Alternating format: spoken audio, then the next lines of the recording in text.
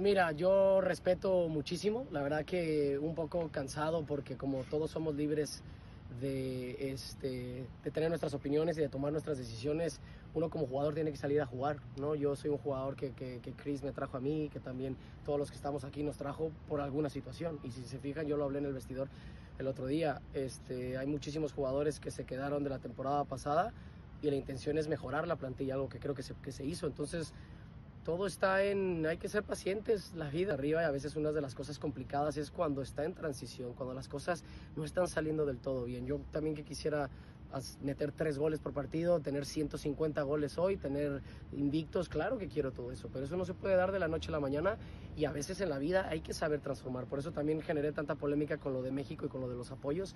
Cuando uno celebra, uno está celebrando, ahí no está apoyando. Uno cuando tu equipo no está mal, cuando yo puedo estar fallando, cuando yo necesito un aliento y necesito un apoyo, ahí es donde están. Entonces, los fans, yo los voy a respetar, yo los amo, juego para ellos y jugamos para ellos pero quien esté aquí, si el estadio está solo o no está solo, yo voy a seguir partiéndome la madre por esta institución. Esa idea que obviamente nos va a ayudar muchísimo tener las gradas llenas de color blanco, pero que si también los, los aficionados son libres y son maduros de decidir que si no quieren asistir, nosotros vamos a tratar de brindarles lo mejor de lo mejor siempre.